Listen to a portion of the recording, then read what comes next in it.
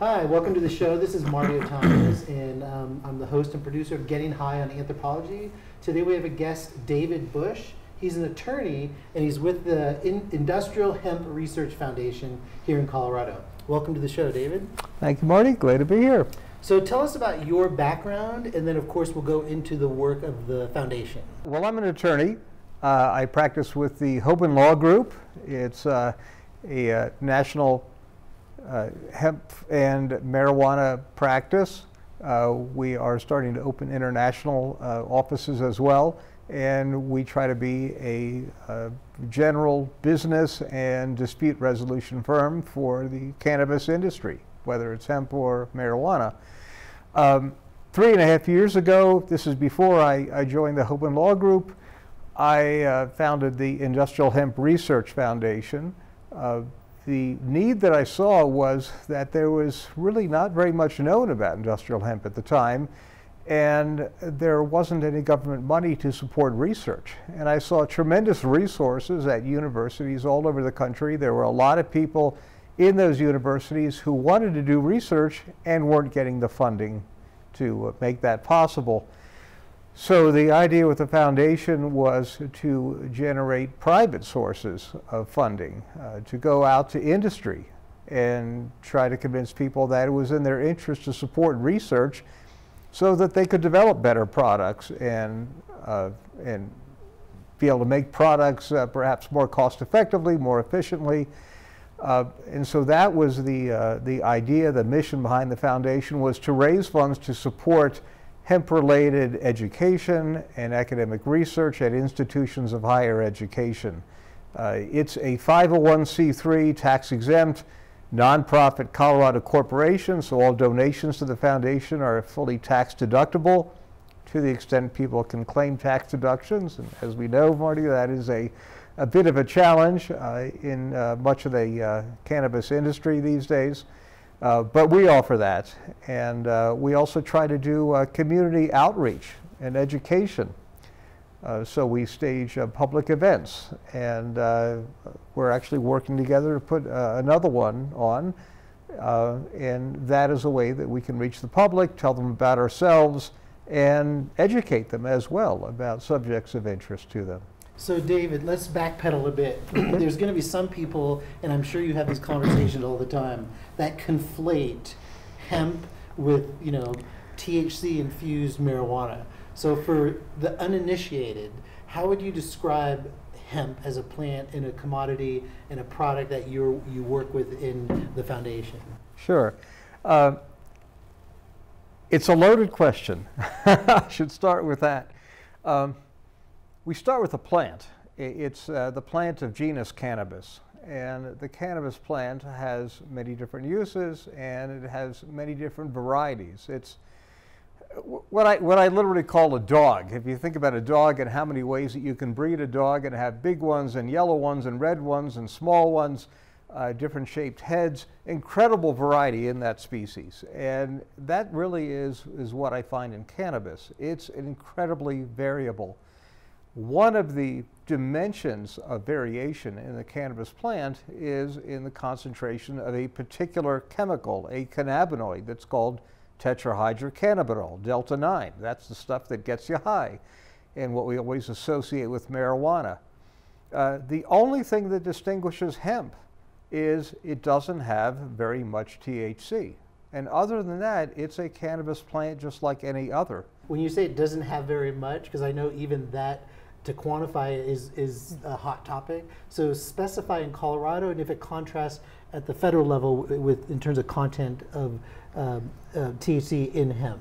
Well, there is a, a default concentration that is uh, spelled out in almost every jurisdiction in the United States at any level of government you want to talk about. Uh, almost without exception, they use the same concentration, and that is 0.3% THC by dry weight. And how that was arrived at was really an historic accident. Uh, it's, it's hard to say what it really means and what the significance of it is, other than to say it's the standard everyone's adopted. And so that's what we see in Colorado. and at the federal level, to the extent that industrial hemp is defined at the federal level in federal law, that's the concentration that is used to identify the threshold that will divide marijuana and industrial hemp.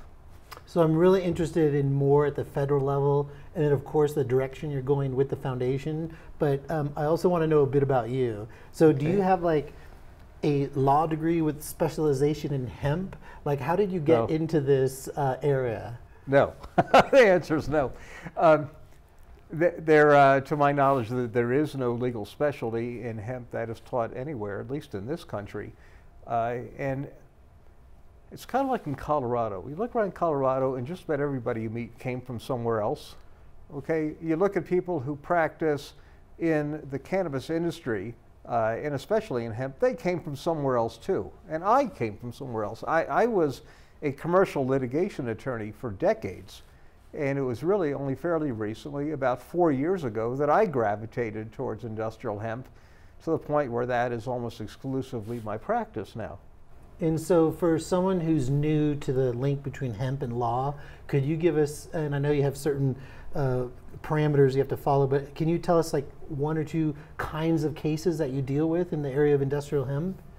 Uh, well, sure. Uh, a, a lot of what we do is regulatory compliance. That, that people will come to us and they'll want to know what can I do, uh, what's legal and what's not, and uh, they they may have questions about how do they advertise their products, uh, what can I say about them uh, that's not going to get me in trouble, uh, how can I make them, where can I send them, can can I market my products in pick a state, Massachusetts, Iowa.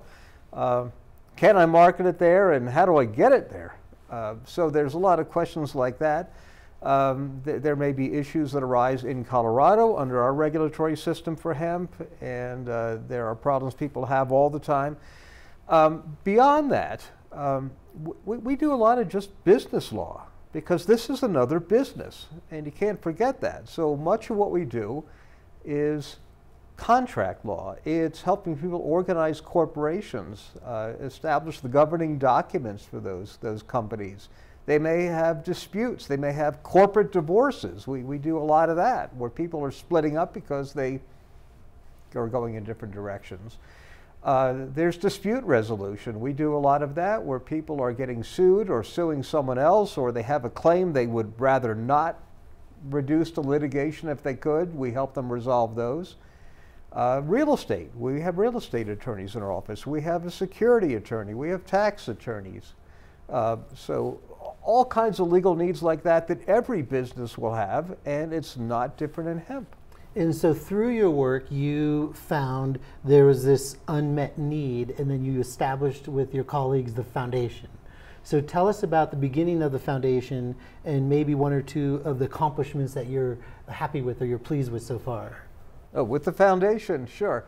Well, as I said, uh, organized the foundation originally because there seemed to be this great unmet need that there were people in universities who were qualified and interested in doing research in genetics and agronomy and economics, you name it, and there simply was not the government support. I mean, to this day, there's only limited government money that's going into hemp research. It's turning around.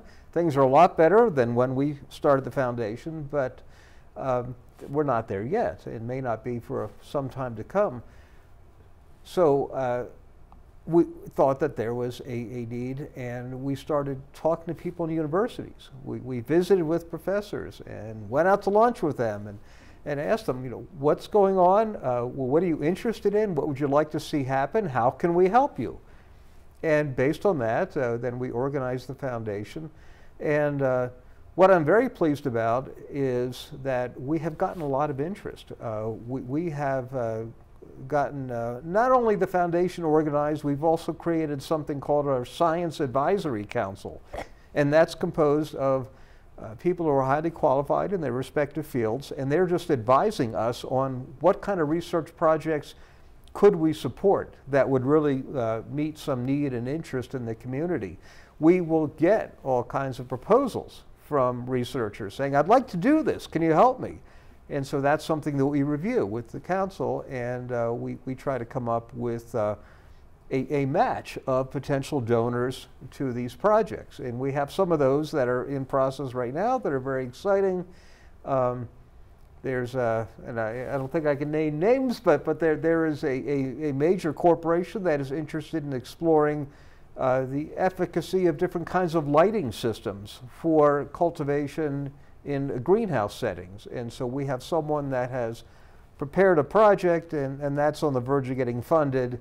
Uh, and it's going to, I'm sure, produce some very interesting results. We, we have some uh, research that has been proposed more in the biology, medical fields to evaluate uh, the effect of, say, cannabidiol, which is a, uh, a substance of great interest in the industry, um, how that affects brains and, and uh, memory patterns. Um, there's been a lot of research on post-traumatic stress disorder and interest in furthering that.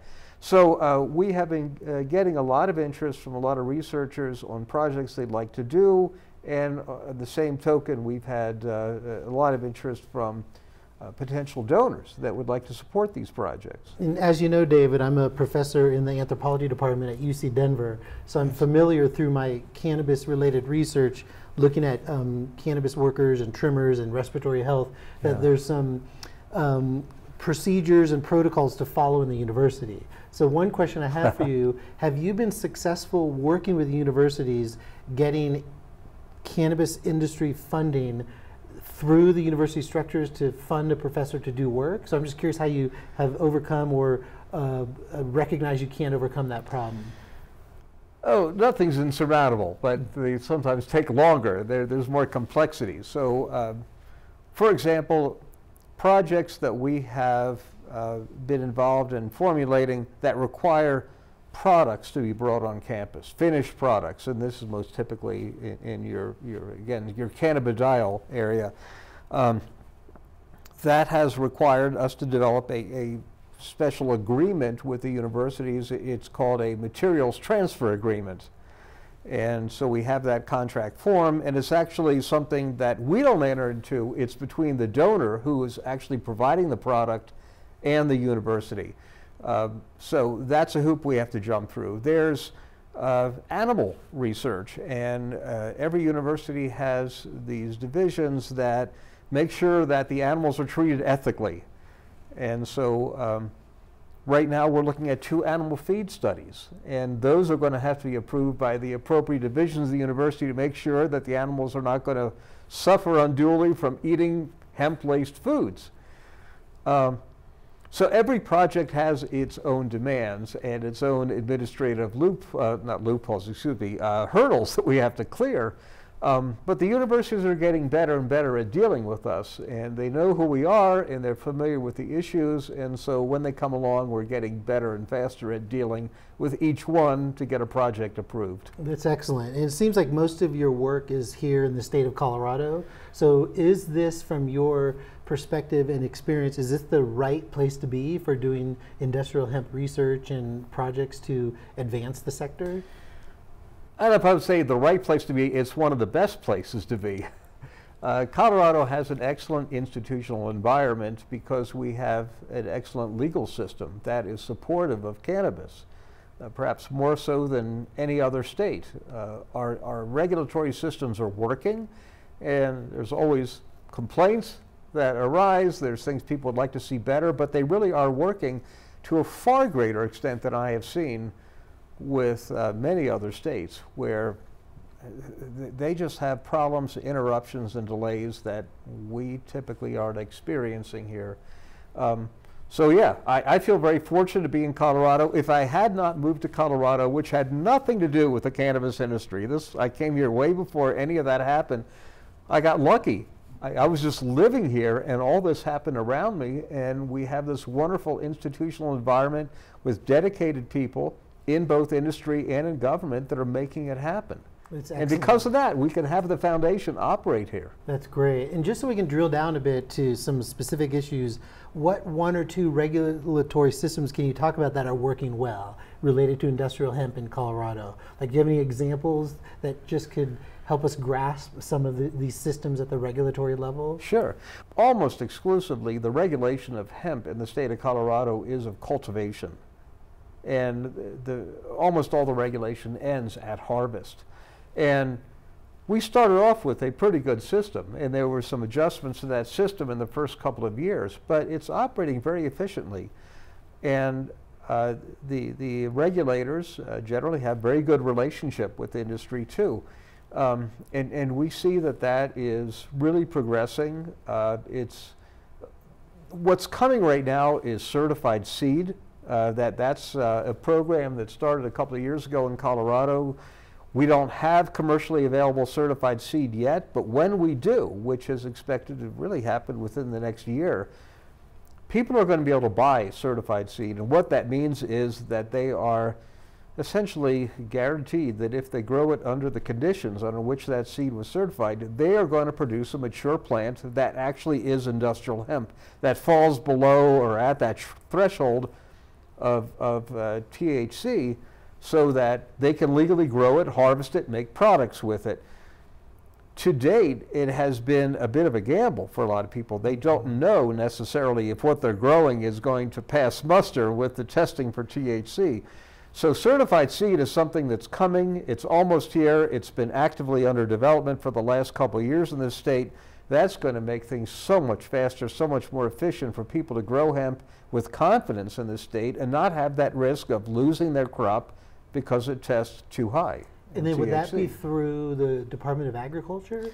And the, what's the timeline you think on that?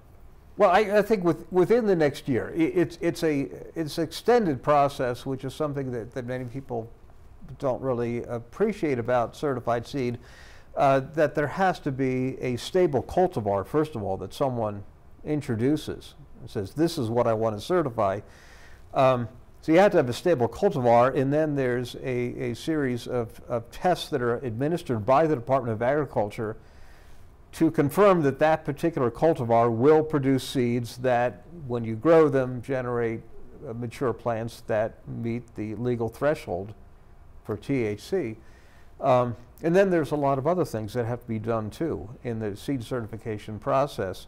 That's all handled by the Department of Agriculture. There is a lab at uh, Colorado State University in Fort Collins that, uh, that does the, the latter part of the certification process. Um, and believe it or not, this is really being administered by one person in the Department of Agriculture. One very overworked person, I should say. That's amazing, but yeah. it's such important work. And it I is very important. Just for, again, for viewers who are new to industrial hemp in Colorado, could you provide a little portrait on what is the sector like in general in terms of either you know approximations of the size you know how many farmers are we um, uh, exporting you know just little details about the hemp sector in colorado. Yeah it's really evolved. I mean what we have today is nothing like it was four years ago. The first legal hemp harvests in colorado were in 2014 so it really has all happened in the last four years. What we saw in the beginning was uh, there were very small plots, very small farms. I mean, we're talking fractions of an acre at times that were under cultivation. And they were what we called the economics uh, business. They were vertically integrated enterprises that the same person would grow hemp on their little plot of land. They would extract whatever they wanted to or process it however they did in their garage or in their kitchen and in another room of the house, perhaps they would they would package up something to sell. So it was all a mom and pop operation done at home, very small scale, uh, not very much unlike the way industry operated in this country back in the 17, 1800s. You know, uh, very very low tech, very small. Uh, we have seen tremendous changes in that in the last few years, so that there's more differentiation of labor. You you have companies that now exist just to produce cuttings of plants to sell to other people. You have people who just raise hemp and sell it to processors. You have people who are just processors. You could not find a contract processor. If you wanted to extract cannabidiol from industrial hemp, a few years ago, you had to do it yourself. There was nobody who provided that service. Now there are lots of people who provide that service, and that's all they do, and they do it very well. So we are seeing a maturation in the industry and that's very exciting to see. Yeah, We're seeing more lawsuits, okay? As a lawyer, I can tell you, when you see a lot of lawsuits, something is happening. There's a lot of business going on. A lot of people are getting mad at each other because things aren't happening the way they'd like. We didn't have lawsuits a few years ago. There weren't enough people getting in each other's way to have lawsuits. Now we do. That's great how lawsuits, the number of lawsuits is like an index to the, to the sector. Not, not So- that that's a good thing for the person in it, but it does indicate the industry is maturing. Yeah. So we have a few more minutes, and I thought it might be good with your expertise if you could uh, help us understand at the federal level what any exciting movement happening in terms of industrial hemp. Oh, absolutely. Uh, well, the, main thing that's happening right now is that there is uh, legislation that has been uh, proposed. It's actually in conference committee right now in Congress, uh, and that is uh, provisions in the new Farm Bill. Is, is what we kind of colloquially call it. Uh, it's technically the 2018 Agricultural Improvement Act. It's a massive law that is renewed about every five years in this country, and it's a hodgepodge of everything from research grants to universities to food stamps to price supports for farmers, about almost anything you can think of that has anything to do with agriculture is touched by the Farm Bill. And it, so it's literally hundreds and hundreds of pages in one bill that is passed by Congress every five years. What is remarkable this year is that there are a series of proposals in the act that would legalize hemp at the federal level. Excellent. Uh, that was passed by the Senate. Uh, the version that was passed in the House did not include the hemp provisions. And that's why it is now in conference committee. Representatives from both the House and the Senate are there to work out their differences to come up with a farm bill that could be introduced uh, back to their respective houses for a vote.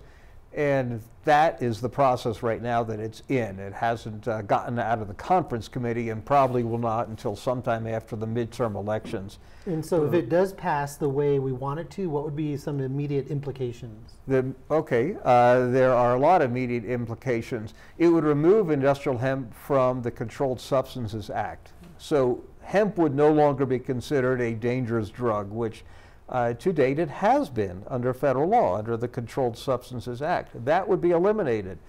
Uh, there would be crop insurance available for farmers that grow hemp outdoors. They haven't been able to get that because of the controlled substance status of hemp.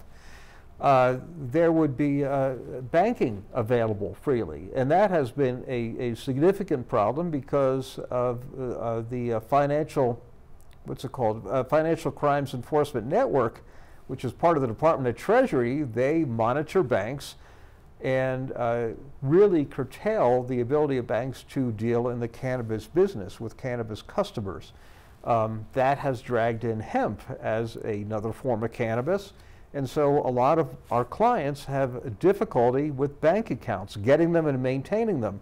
Getting bank loans, they haven't been able to do that. Credit is a real problem. In agriculture in general, it's hugely so in something like hemp where people can't even go to their banks to get an ordinary loan. Wow. That's going to change.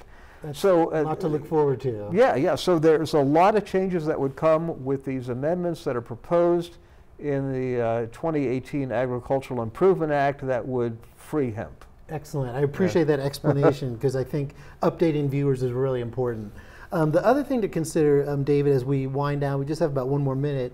Um, what would be for students, if we can get them excited about the foundation, excited about industrial hemp, what would be one or two projects that you think would be good for students to think of in terms of either doing research or just educating themselves about to help build a hempire, as the Okay. foundation likes to Yeah. uh, likes to claim? Well, those of you out there that are students of engineering, I would love to see more research on building materials. I, I think there's a bright, bright future for hemp in building materials and in making paper too. There- There, there's tremendous quality in the fiber of hemp, but there are challenges.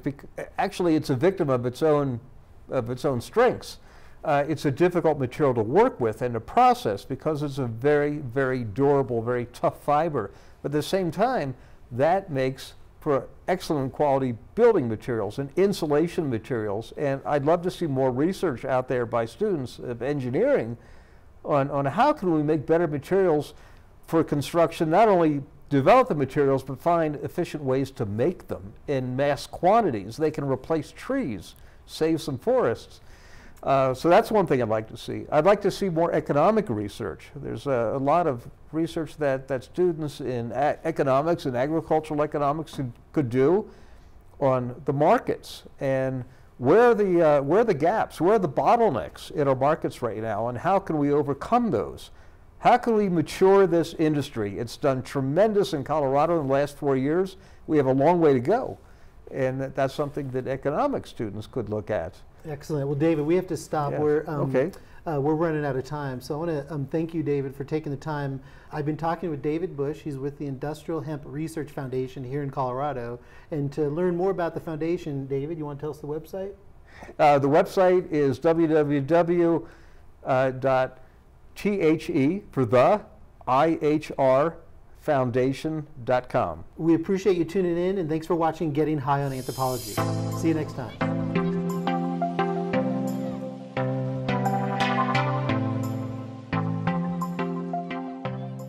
I was born and raised in Colorado, the cannabis state. My parents are your typical strict Asian parents that never let their kids do anything but study. Any discussions about being an artist, dating, or drugs were forbidden and never talked about. When parents tell you not to do something, it makes you want to break the rules and just go for it.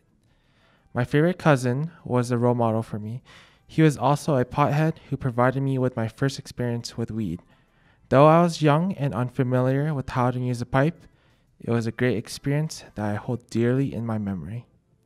While I enjoyed these times, my focus turned to school because I wanted to become a doctor or a dentist.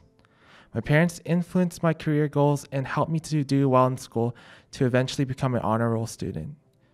However, I noticed one day that my best friend Sean was ditching class on a regular basis. He smoked often and stopped doing homework. As I neared the end of high school as a time for partying and prepping for graduation, Sean, who smoked daily, told me about how he was struggling to pass in his classes. Maybe Sean and other friends of mine were rebellious. More than one friend of mine had a difficult time completing high school. Some failed. Since I'm very science oriented, I think I was subconsciously doing an observational study on my friends, comparing how often my friends needed to smoke to how well they did in school. This might be because I was heavily influenced by my father, who is a doctor. He was the one who introduced me to the science field. My cousin Vin was an exception, being a major pothead. He was still an honor roll student and president of several clubs. In Maymester 2018, I learned that marijuana has addictive properties that researchers have shown that consumers of cannabis demonstrate a decline in academic performance. However, many different factors played a part in each of my friends' lives, so it's unfair to say that smoking marijuana leads to poor academic performance and addiction. My friends mean a lot to me, and though I learned that cannabis may have an influence on education and life chances, I think it's still perfectly fine if individuals consume cannabis on a moderate basis. It's obvious that additional research is needed on the effects of smoking cannabis, such as addiction and cognitive impairment. Also, more studies are needed to examine how chronic users of cannabis are able to live successful lives. Are you a cannabis user who is a functioning individual?